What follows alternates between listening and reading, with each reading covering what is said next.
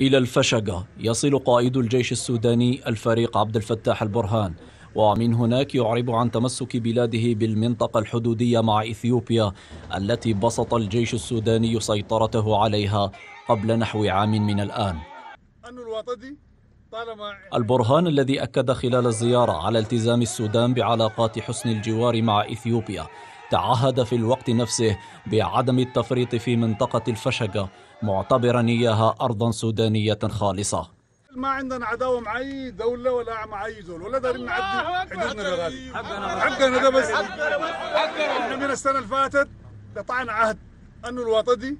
طالما إحنا يا نموت يا نرجعها ما عندنا.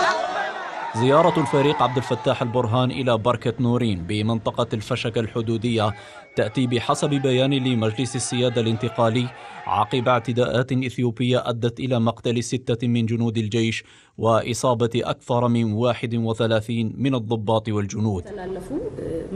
أديس أبابا نفت عبر مسؤولين بمكتب الاتصال الحكومي أن يكون الجيش الإثيوبي هاجم نظيره السوداني في المنطقة الحدودية بين البلدين.